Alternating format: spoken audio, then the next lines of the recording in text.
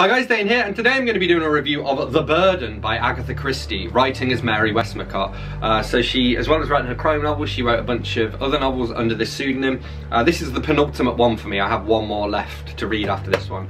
As always, I'm going to read you the blurb, then I'm going to go through and check out some of my tabs, and I'll share my overall thoughts and rating at the end. So, The Burden. Laura Franklin bitterly resented the arrival of her younger sister Shirley, an enchanting baby loved by all the family. But Laura's emotions towards her sister changed dramatically one night when she vowed to protect her with all her strength and love.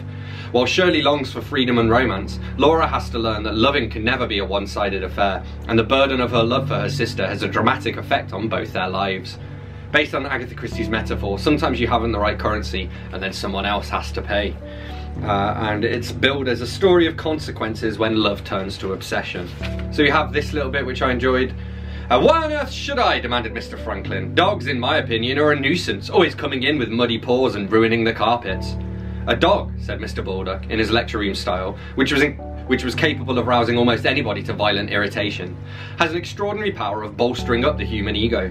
To a dog, the human being who owns him is a god to be worshipped, and not only worshipped, but in our present decadent state of civilization, also loved. The possession of a dog goes to most people's heads. It makes them feel important and powerful. And then Mr. Baldock has this little rant about women here, jeez. Doesn't anyone ever dust in here, Laura asked as she sat down sedately. Not if they value their lives, said Mr. Baldock. But mind you, it's a hard fight. Nothing a woman likes better than to come barging in, flicking a great yellow duster, and armed with tins of greasy stuff smelling of turpentine or worse.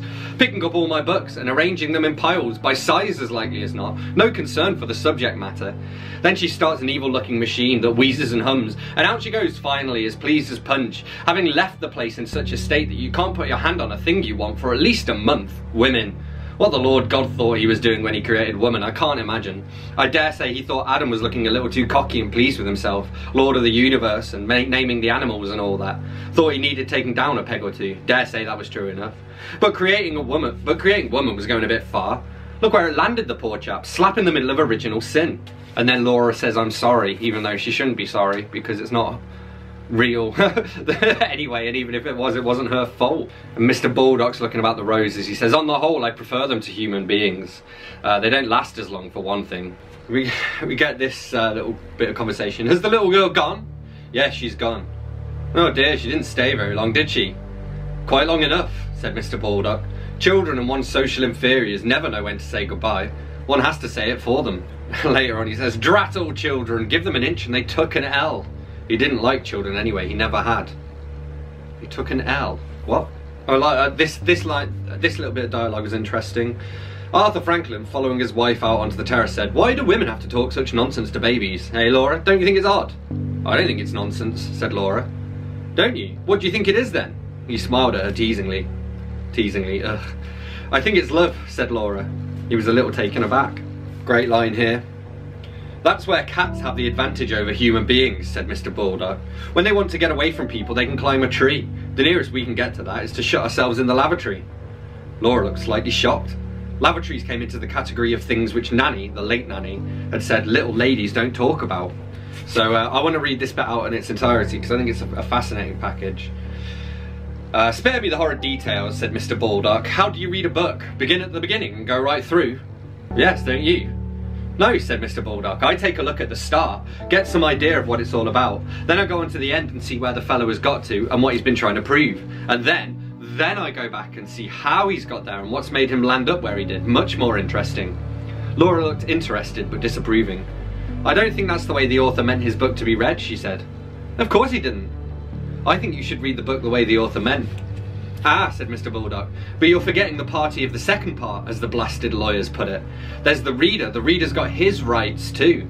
The author writes his book the way he likes, has it all his own way, messes up the punctuation and fools around with the sense any way he pleases. And the reader reads the book the way he wants to read it, and the author can't stop him. You make it sound like a battle, said Laura. I like battles, said Mr. Baldock.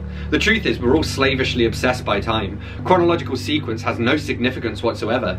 If you consider eternity, you can jump about in time as you please, but no one does consider eternity. Laura had withdrawn her attention from him. She was not considering eternity. She was considering Shirley. And watching that dedicated, devoted look, Mr. Baldock was again conscious of a vague feeling of apprehension. And, uh, Another, a bit here I wanted to read out. Mr. Baldock again, he says, You women, trouble with all of you is you make such a song and dance about things. How is one ever to know what's wise or not? If young Shirley goes to London and picks up with an Egyptian student and has a coffee coloured baby in Bloomsbury, you'll say it's all your fault. Whereas it will be entirely Shirley's and possibly the Egyptians. And if she trains and gets a good job as a secretary and marries her boss, then you'll say you were justified. All bunkum. You can't arrange other people's lives for them. Either Shirley's got some sense or she hasn't. Time will show. If you think this London idea is a good plan, go ahead with it, but don't take it so seriously. That's the whole trouble with you, Laura. You take life seriously. It's the trouble with a lot of women. And then she goes, and you don't. And he says, well, I take bindweed seriously, because he's into gardening. Uh, Henry says, I wonder if you ought to come and meet my aunt. I'm afraid that it will be an awful bore for you.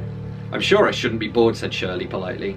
I don't see how you could help it, said Henry. She does horoscopes and has queer ideas about the pyramid. And uh, here we get somebody asking somebody to marry them. Asking. He says, Darling, you're so lovely. I want to marry you. You must marry me. You must. You must.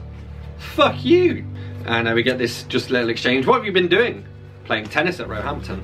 I went to Roehampton University. It's in uh, southwest London, near near Barnes and Putney. Jesus, we get this as well. Yes, Henry really is a fiend. I try to be sorry for him, but I can't. You women, hard-hearted, sentimental about dead birds and things like that, and hard as nails when a poor fellow is going through hell. It's Shirley who's going through hell. He just goes for her. Naturally, only person he can take it out of. What's a wife for if you can't let loose on her in times of trouble? Jesus fucking Christ. And uh, I just want to read this one last line here. Uh, I want to hear all you can tell me about her, but, but don't say consoling things to me. You still believe in God, I suppose. Well, I don't. I'm sorry if that seems a crude thing to say, but you'd better understand what I feel. If there is a God, he is cruel and unjust. Yes, very true. So overall, The Burden by Agatha Christie, I mean, going back through and reading these bits out, I actually enjoyed reading these bits out a lot more than I enjoyed the book as a whole. So I feel as though, in general, the book itself is there, but um, it does have some nice parts to it. Uh, I gave it a 3 out of 5 in my uh, website review. I think I'm going to revise, no it's still actually, it's not quite 3.5, it's a strong 3 out of 5. Um, but yeah, The Burden by Mary Westmacott slash Agatha Christie. So there we have it, that's what I made of The Burden. As always, don't forget to let me know in the comments if you read this book and if so, what you thought of it. Hit that like button if you enjoyed this video, hit that subscribe button for more, and I will see you soon for another bookish video. Thanks a lot, bye bye.